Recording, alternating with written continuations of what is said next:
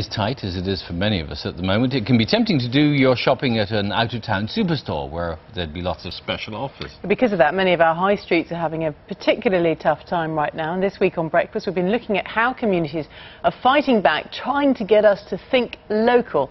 Today, Mariam Moshiri is in Shropshire for us. Mariam.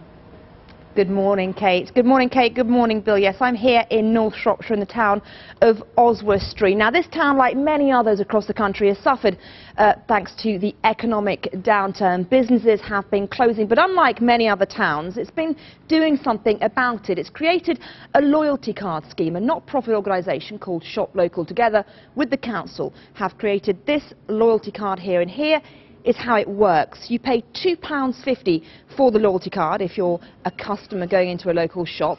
The local business will pay £60 a year to be a member of the scheme. And generally, if you're going to the shop and using the card to buy products or services, you could get a discount on average of around 10%. I went along to find out exactly how it works in practice. Morning. Lisa Bishop has come to her local butcher's looking for a bargain the lamb chops, please. She signed up to the loyalty scheme aimed at getting more people to shop locally. I've got one of these um, shop local discount cards. Do I get some discount? Yeah, you get 10%. Fantastic. There we go. The scheme, which runs in the five market towns of North Shropshire, gives members like Lisa a discount at businesses which sign up. It gives you a little bit of discount off, which at the moment is, is great. Um, and I think the shopkeepers are trying to get involved with the scheme, and that shows me that they want my business. It seemed like a good way to uh, to get to improve our business and uh, get our, our message out and trying to keep people shopping locally. The loyalty card scheme may work for some people and businesses here in Oswestry, but is it enough to get people reaching for their wallets during a recession? I think we've got to support the small shops, especially in here in Oswestry, or else we're going to lose every shop we've got.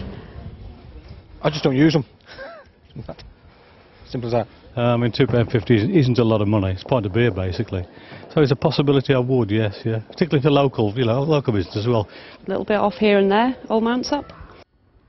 But not all businesses have benefited uh, from the scheme. Howard Jones was forced to close the retail side of his Oswestry wine store last week, though the wholesale business remains open.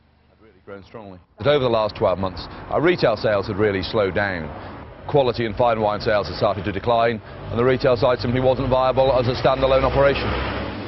The economic downturn has meant an increased interest in the scheme, and the woman behind it believes it helps shoppers and retailers alike. This is all about helping to keep people shopping locally, using business to business, and if they can offer some sort of discount incentive, that's what it's all about. Well, nice. How much are they? It's six ninety nine. that one. So, as Lisa continues her Great, day's shopping, she hopes much. that by shopping locally, She's doing her bit to help both the community and herself.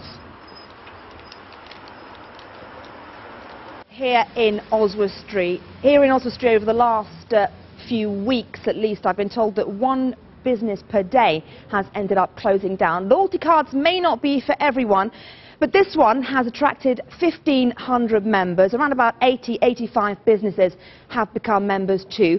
North Yorkshire apparently uh, went with the scheme three weeks ago, and South Shropshire is interested. So it does look like a loyalty card could maybe be coming to a town near you. I wonder, Kate, if one day they'll make loyalty cards for men.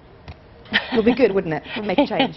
it's a good point. Well made, Mariam. A lot of people also texting and emailing saying, well, actually, car parking prices can be prohibitive um, when the local councils put them mm. up. So that's another point. OK, time 21.